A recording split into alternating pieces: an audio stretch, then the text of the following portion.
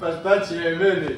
Što će meni neprijatelji pored ovakvih prijatelja? Isuse, gledaj evo, 50 nije, 10 sati nije prošlo. Ma šta je moj krčo, šta je smiješno?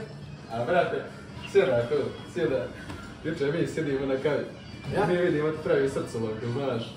I mi nešto upričamo, ono, ja kažem, aj komentirat, ako bude komentar moj imao 50 lajkova, prijavljuje se, znaš. Šta je? Evo, Nije 10 50 sati ga, evo. Gledaj. Znaš šta sam sad skontao? Napiši ti ovdje još, ako skupimo još 20 lajkova, prijavljujem prijatelja. Mene prijavi. Tebe. No. Pa vidiš, nije to loša ideja, tamo da ubiješ tamo monotoniju. Hoćemo. Hoćemo. Ajde. Piši mi to. 20. Šta je to, a? One eternity later. Sad. Šta si ti rekao, prijatelj? 70 lajkova. 71.